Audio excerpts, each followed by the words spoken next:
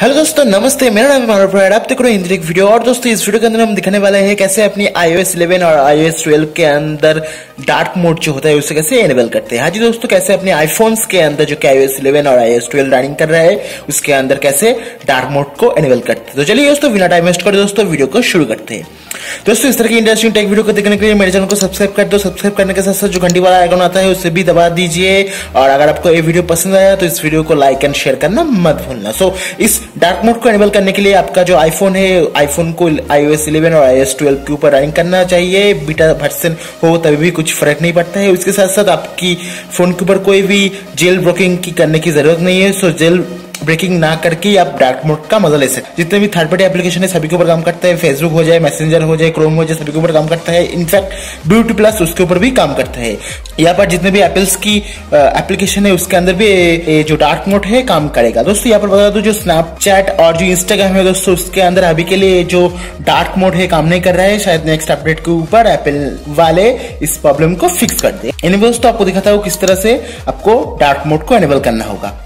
तो दोस्तों, जैसे कि आप देख पा रहे हो, मेरे पास एक आईफोन है। इसके अंदर जो वर्सन है आईओएस का, वो भी आपको दिखा देता हूँ। जैसे कि आप देख पा रहे हो 11.1.1 सो 11.2 इसके अंदर रनिंग हो रहा है iOS 12 के अंदर भी काम करता है। तो सर्वप्रथम आपको क्या करना होगा दोस्तों, इसके लिए आपके iOS के ऊपर कोई भी जेल वेक करने की ज़रूरत नहीं है। सिंपली सेनिस को ओपन कर लो। सेनिस में ओपन करने के बाद आपको यहाँ से स्कॉल डाउन करके आपको जनरल के अंदर आना पड़ेगा। उसके बाद यहाँ पर एक आपको एक ऑप्शन दिखाई देगा एक्सेसिबिलिटी करके। इसमें टाइप कीजिए। उसके बाद यहाँ पर जो फोर्थ नंबर ऑप्शन है विजन के अंदर डिस्प्ले एकोमोडेशन करके जो है उसमें टाइप कीजिए। यहाँ पर से आपको दो ऑप्शन को एनेबल करना पड़ेगा। पहला जो है इन्वर्ट कलर्स सो so, इसको आपको टर्न ऑन करना पड़ेगा। यहाँ से आपको स्मार्ट इन्वर्ट जो फ़र्स्ट वाला ऑप्शन है उसको आपको एनेबल करना पड़ेगा।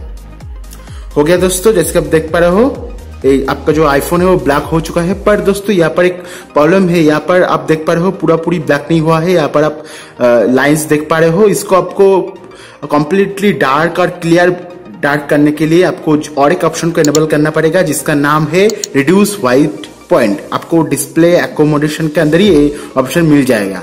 तो यहाँ से इसको एनेबल कर दो।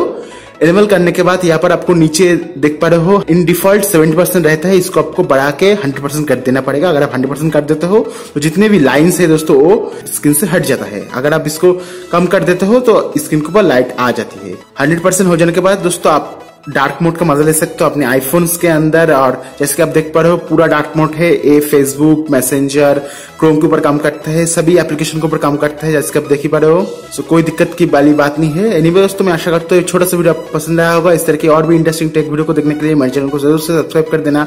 सब्सक्राइब कर देने के साथ साथ इस वीडियो को ज़्यादा से ज़्यादा शेयर कर दीजिए सभी आईफोन यूज़र के साथ। Thank you for all this video have a nice day